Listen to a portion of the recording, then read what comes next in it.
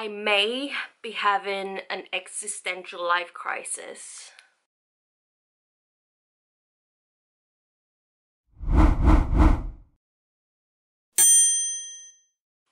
Hi, hey, hello, welcome or welcome back to my channel. So, today we're gonna talk about these three books.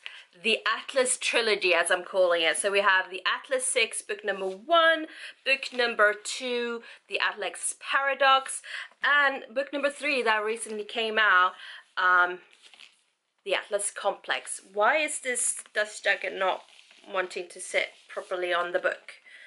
It's like it's the wrong dust jacket for the wrong book. Um, anyway, I want to try to do this without spoiling things, um, which is going to be very hard because I tend to just say whatever pops into my head, and that can sometimes be a bit of a spoiler. And also because um, it's now a full trilogy, I've finished all of them, I want to talk about all of them in one shape or form. So, the Atlas 6, the one that got her a publishing deal. basically, she wrote this book, self-published it because she didn't think anyone was gonna want to read it. And then TikTok happened. It went into a massive hyped, overblown. I I really don't know.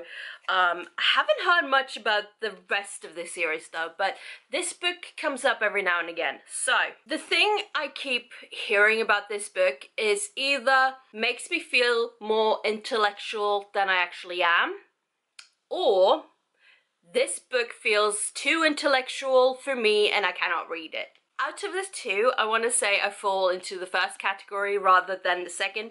I did finish all three books. I mean, it can't have been that bad. Atlas 6, we start off straight off meeting these six candidates who are, you know, the chosen ones, as it were, in this in this thing. These are the six characters that we follow throughout um, with the occasional interlude from different characters, not the main characters, but different characters that are connected to our main characters. what is this? What is this explanation? I don't know.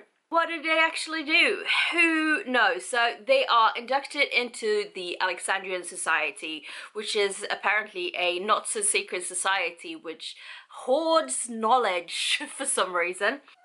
Hi! Hello! Oh, baby. Your buddies are coming tomorrow.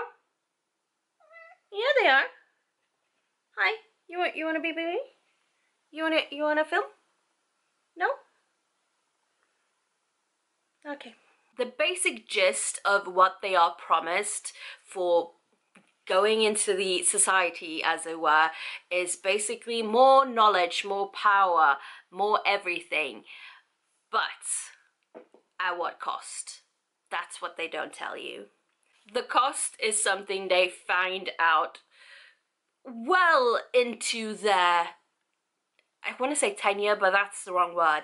Well into their year, they find out what the price is. And honestly, it's something they find out throughout the whole trilogy that it's not just the one price. Everything comes with a cost. Everything, literally everything comes with a cost. And you can't expect everything from nothing. So, The thing is with this trilogy, when you're reading it, you're like, where are we going with this? What uh, what is the mission of these characters in this society? It's like they're going to school, but they're not going to school. Uh, they're researching and trying out things and well their magic power as it were and you're like how is this even gonna end to like speed through the whole thing, I think the way this trilogy ends, it couldn't really have ended in any other way. I guess the only way to really summarize what the whole trilogy is about is to ask the question, what is the meaning of life?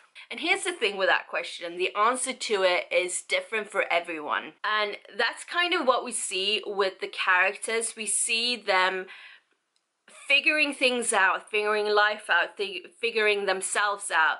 Some maybe not until like it's maybe too late, but it's there. It's what we we as the reader are seeing through this character's eyes, as it were. I think I could go on a whole rant and tangent about absolutely everything and anything that contains that is contained in this whole series but I, I don't want to do that because I would just you know say the whole series and that would be massive spoiler.